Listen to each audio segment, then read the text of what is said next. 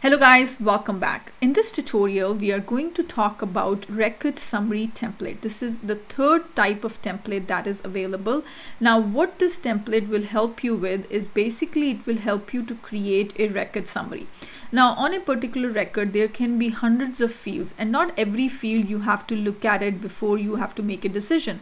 Let's say on the opportunity object, there are certain fields that you're interested in and rather than glancing through those fields, if let's say there is a place where you can get a quick summary of that opportunity record, wouldn't that be great? And that is exactly what this record summary template does. It creates a concise overview of the key information of your record.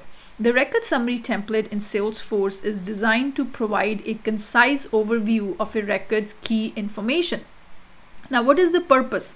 It helps users quickly understand the most important details about a record without having to sift through all the data. So instead of going through each and every field, there is going to be a place where you can get a quick summary of the whole record. The template pulls together essential information from various fields and presents it in a summarized format. So from various pieces of information, it is going to gather all the information and create a summary of all that data.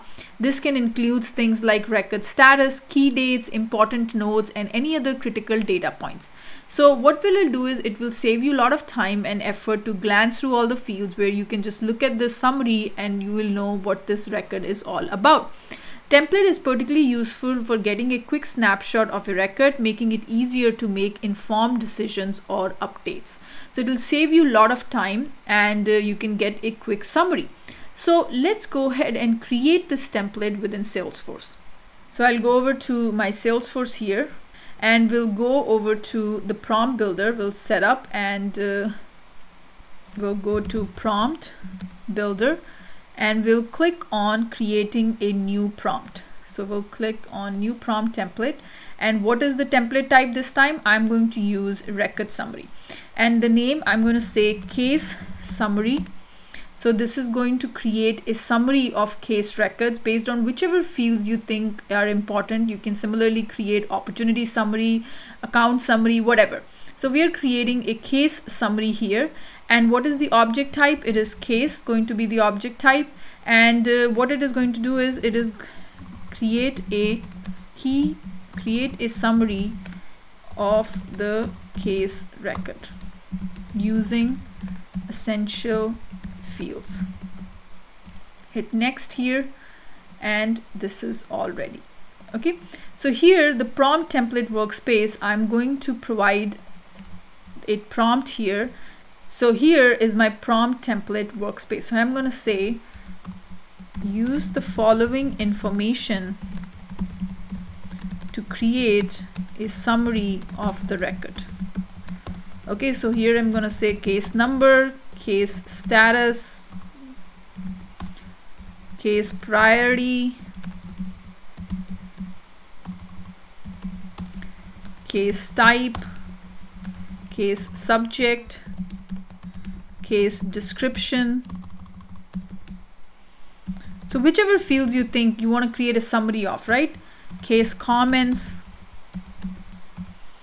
and uh, let's say case product or we can say this one and pretty much this is all we need case status case number is there case priority is there case type is there subject is there description is there comments is there and product is there. Okay so we are good.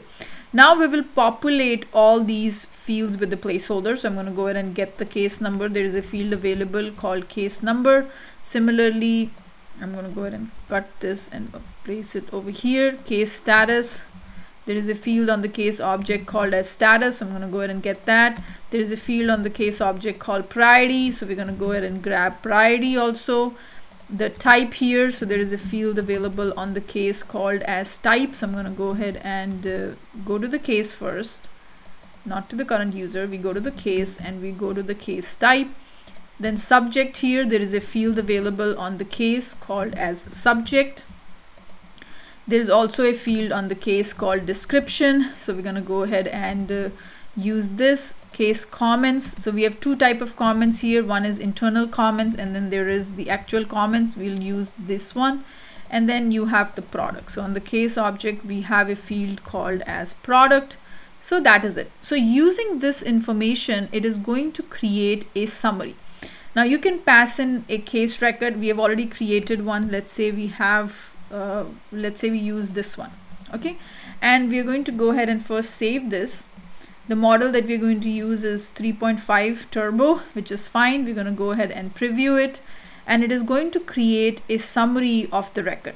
Okay, so based on the provided information, the summary of the record with case number 1029 is as follows. The case is new with a high priority and falls under the electronic category. The subject of the case is this having issues with my iPhone 12 where the iPhone has stopped working with an update and is displaying a black screen.